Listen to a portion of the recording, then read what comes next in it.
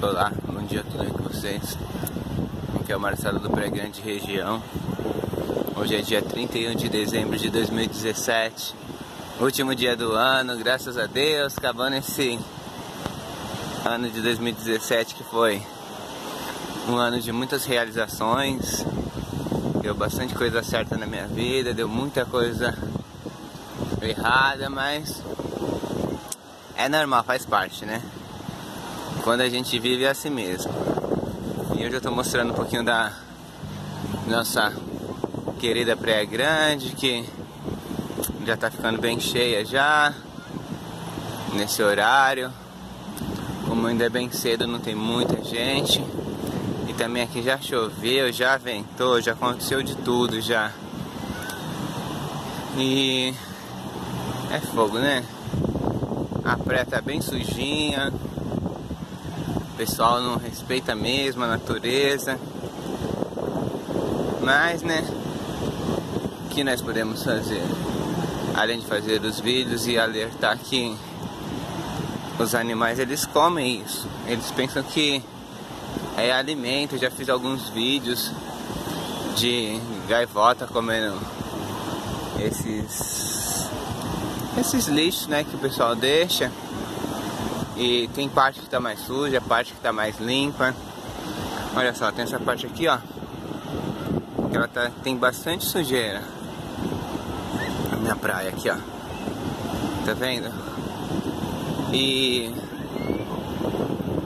eu lembro que o prefeito aqui da cidade, ele disse que a gente tem que cuidar da praia, a gente tem que tomar conta mas ele tinha que fazer alguma campanha, alguma coisa explicando da importância que é de jogar o lixo no lixo, porque o mais estranho é que quando tá só nós moradores daqui não acontece isso.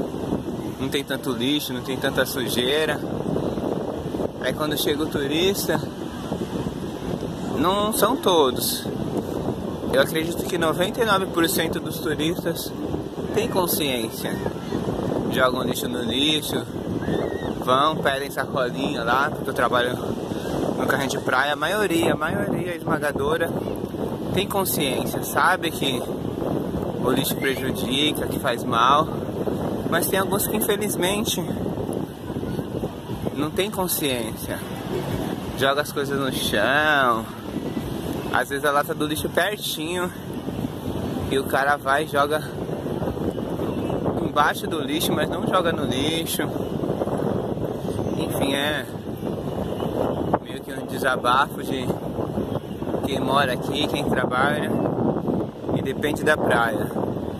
E olha que a prefeitura aqui da Praia Grande, ela reforçou muito a quantidade de pessoas que trabalham na CESURB, que é a Secretaria de Serviços Urbanos, para fazer a limpeza da praia.